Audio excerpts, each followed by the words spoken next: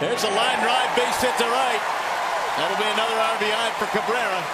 Berry takes the turn. He'll stop at second. And Miguel has an RBI single.